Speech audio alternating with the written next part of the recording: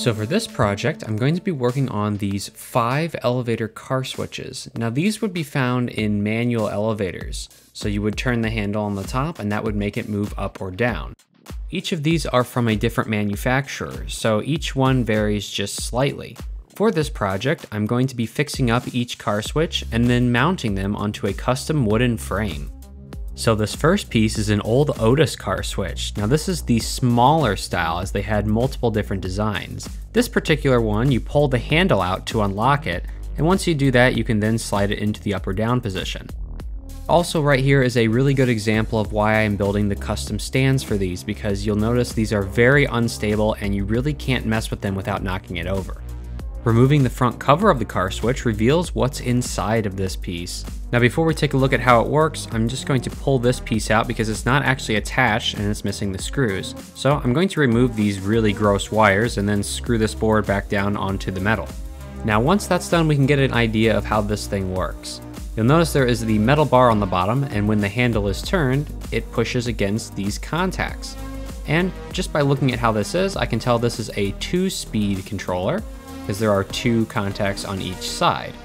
This would be for the other direction, so lift up the handle and then slide it down. You'll see the metal bar connects the first set of contacts and then all the way down completes the second. Now it's time to build the wooden stand to mount this piece too. Now each stand is going to follow the same basic idea. One piece of wood will be for the base. The car switch will sit on this piece of wood. Then two more pieces of wood will be mounted to the back of the base, these will screw into the holes on the car switch, securing it to the frame. These are the three pieces I cut for this car switch, and I put it together after painting them, and it is now time to put the car switch onto this frame. So here it is mounted to the new frame, and you'll see here whenever I move the handle, I can move it just fine without knocking the entire piece over. So this is definitely a huge win. Now that this is done, it's time to move on to the next one. The next piece is this old Burwack elevator company car switch. This one is unique because it has a light switch on the front, which is something I've never seen before. Like a lot of these old car switches, the locking mechanism is broken, and it appears that the original handle was replaced with an Otis one. So just like the other one, the top can be removed, revealing the inside. Here you can see the light switch and how it's mounted, along with the different contacts. This one works similar to the Otis one with the metal bar on the bottom. You can see as I turn the handle, the metal piece moves connecting the different contacts. So just like the Otis one, I made three pieces of wood, a base, and two support pieces, and put them together just like I did for the Otis, except this one is a little bit different because of the way that it is mounted. And here it is mounted to the frame. This one definitely needed a frame because it was very hard to mess with this thing when it was not attached, but now this thing can move freely, and I'm really happy with the way that this one came out. So now it's time to move on to the next one. The next piece is this Haughton car switch. Now this one has been heavily painted on which is unfortunate, but it is still functional. I did the best I could to touch it up and then repolish up the Haughton Elevators logo. Removing the cover on this one reveals the inside, and we can see that this is only a single speed car switch, so there's only one set of contacts for each direction. Besides the cosmetics, this one didn't need any more work, so all that was left to do was build the stand. And here's what it looks like mounted to the stand.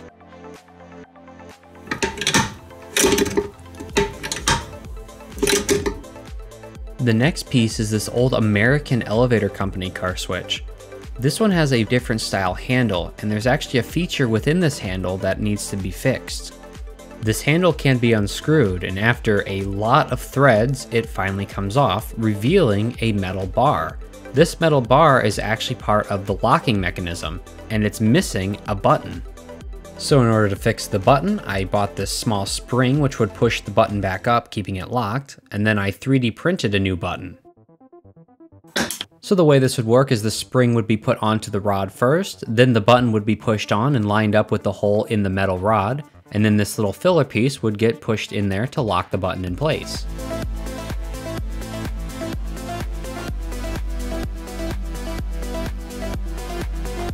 Now that the locking mechanism is working again, it's time to take a look on the inside of this piece.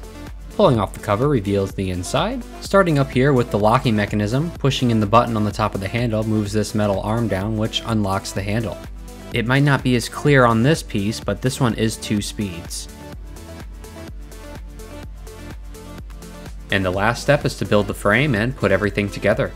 And now this piece is complete. This was one of the ones that definitely suffered from not having a custom frame for it, but now that it does, this piece can be interacted with and it works just fine. The new locking mechanism is amazing, and you really have to push in on that button to make it move. The final piece in this project is this Westinghouse car switch, and this one is going to require the most work. The first thing is the locking mechanism, and right now it's doing the opposite of what you think it would. Pressing in on the lever actually locks the handle from moving instead of unlocking it. So I'm going to have to design something to fix this. And the second thing is the contact arrangement. Currently, a critical piece is missing in the center of the car switch that allows the contacts to close when the handle is rotated. At the moment, rotating the handle does absolutely nothing and the contacts are free to move as they wish. So I bought some springs which fit in between the contacts and push them closed. This may not seem very practical at the moment, but once I make the piece for the center, this will all work as it should. Actually making this centerpiece was a lot more difficult than I thought it would be because I didn't have any piece to base this off of. I only had a picture. So I did what I could to replicate the piece that I saw in the photo. I went through multiple versions, changing the different cuts each time, and I finally worked out one that I think works.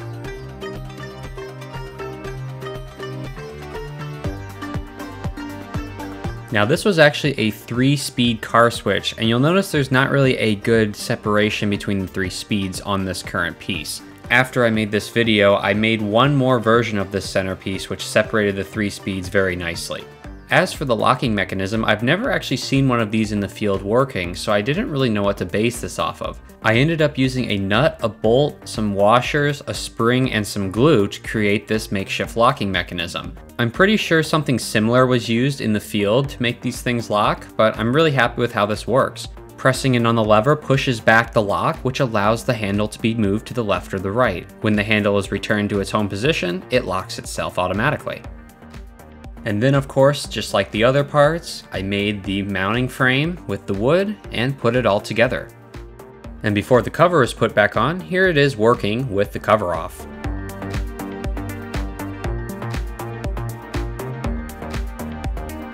And that completes all of these car switches. This particular Westinghouse one is the one I'm most proud of because it needed the most work. So let's go ahead and put all these together and take a look at the finished result.